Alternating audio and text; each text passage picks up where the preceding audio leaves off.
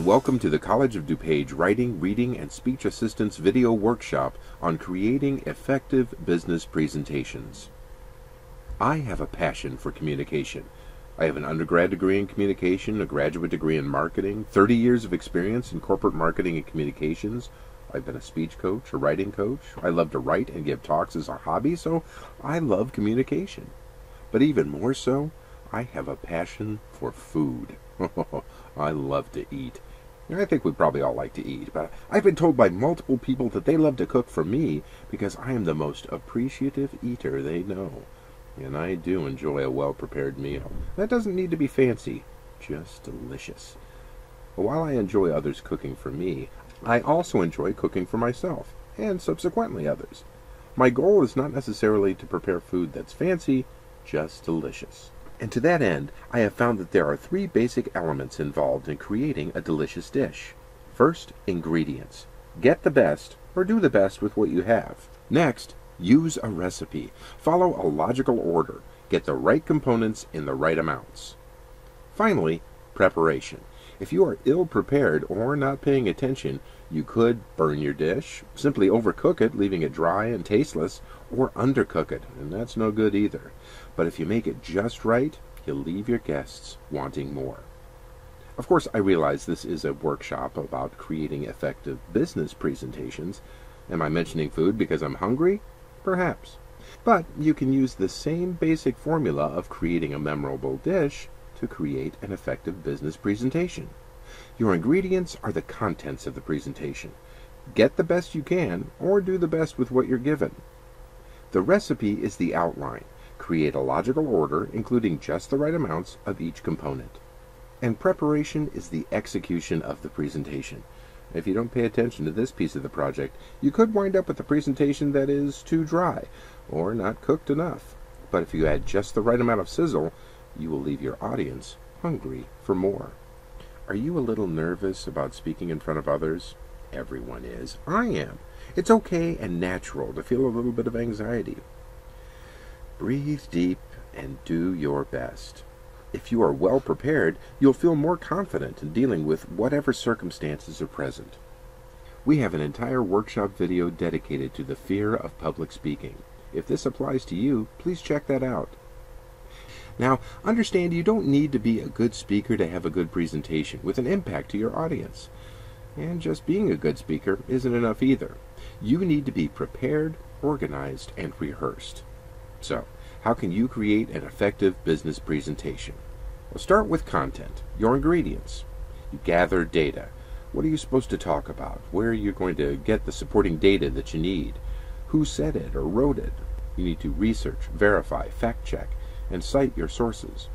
For example, for this presentation, I researched several sources on presentation skills, past presentations I've given, examples from my own experience, and feedback provided by instructors at COD. If you're working on a team, and many times we are, you need to clearly define who is responsible for what. Avoid duplicating efforts and ensure that nothing is missed or forgotten. Know your audience. I may make an awesome pork tenderloin, and I do, but if my audience is vegan, it's not going to matter how good a cut of meat it is or how well prepared, they're not going to like it. Who is your audience?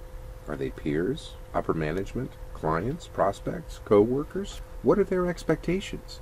Should you provide materials, handouts, notes, examples? Should you be following a consistent theme? Is everything about horse racing or baseball? Are there things that you should not be disclosing, like insider information to clients or prospects? Also, consider the use of industry or company lingo, common acronyms that might be perfect for an internal meeting, but they might be confusing for an external one. And consider dress code. Is it formal, business casual, very casual? When in doubt, overdress. And while you want to be engaging, certain presentation skills taught in general public speaking courses may not apply in the business setting. Humor, personal stories, shocking visuals may not be appropriate. Consider logistics. What time of day is your presentation? Are you the last presentation before lunch when everyone is edgy and hungry and ready for you to be done? Are you the first presentation after lunch when everyone is full and maybe ready for a nap? Are these the same people you present to all the time? Is it Monday morning or Friday afternoon? Also know your order or importance. Are you the keynote speaker or one in a series? Will you be presenting alone or as part of a team? Stick to the allotted time. Do not go long. Better to be a little short in a business presentation than too long. People are busy and have other things to do. And if you're one of several speakers, you don't want to take time away from someone else. Also consider the physical logistics. In today's business world, your meeting may be in person at a podium with PowerPoint projection. It might be in a conference room with handouts. It could be at a restaurant or some other public setting. It could be over the phone or the internet with no visual of you, just your disembodied voice, or some combination of all of these. Will you have access to a microphone or a screen? If you've created a wonderful PowerPoint, are people going to be able to see it? For this presentation, I knew it would be my voice over a PowerPoint video, and there would be no opportunity for interaction. Are there any cultural or international issues you need to be aware of? I've worked with teams where I'm based in Chicago, and they are in London and Mumbai, Japan and New York, even Ohio. You need to appreciate the time zone differences and the cultural customs of the various locations. And whenever possible, Follow corporate standards if they exist. Use appropriate templates, colors, fonts, and logos. Consider all of your physical logistics as you prepare your presentation. But you also need to be prepared to cut to the chase. I was once in a meeting where I was allotted 30 minutes, so I prepared a 30 minute presentation. I planned out every section, rehearsed it so that I knew exactly how long each section would be, but when I got to the meeting, I was told that the group was running late, so I know they told me I'd have 30 minutes, but I only have 10 minutes. Go ahead. This is not a time to panic. It's a time to shine. Because if you know your material, you hit the highlights, you skim certain sections, and you do so with confidence, leaving the audience informed and engaged. Have your elevator speech prepared. The elevator speech is that critical portion of your speech. It's, it's a summary of key points that you need to get across. It's called an elevator speech because it's the version of a longer topic condensed to the time it takes to ride an elevator, usually 30 to 60 seconds. The outline is the recipe of your presentation. In my research, I found many components of an effective presentation which I have distilled down to the following six elements purpose, format, data, conclusion, relevance, and summary.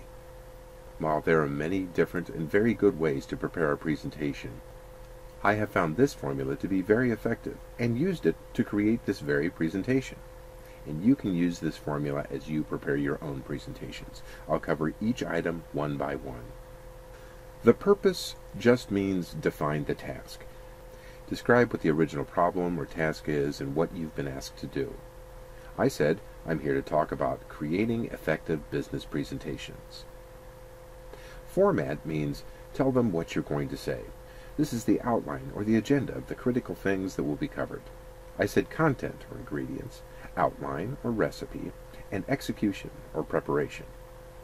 This, by the way, is half of my elevator speech for this presentation, the most important things to get across.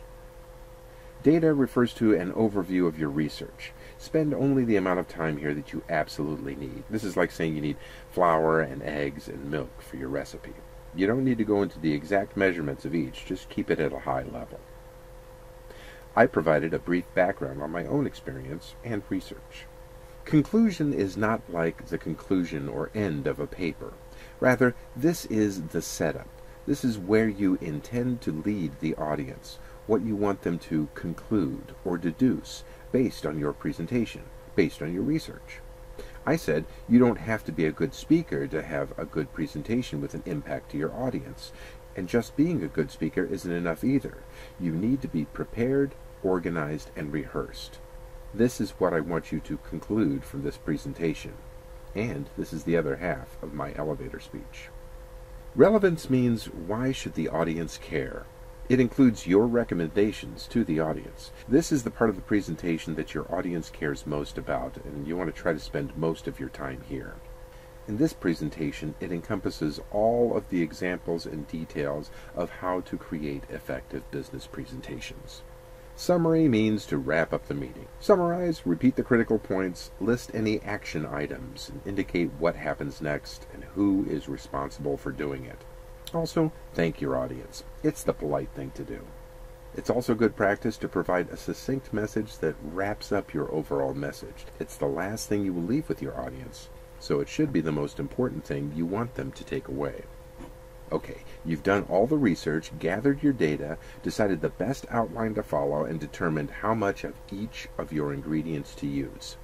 Here's where it all comes together in the execution. Your script. Write everything out. Anyway, that's what I do. I write it all out verbatim. And then I break it down into bullet points, onto note cards, or onto paper. You can even use the notes section of your PowerPoint.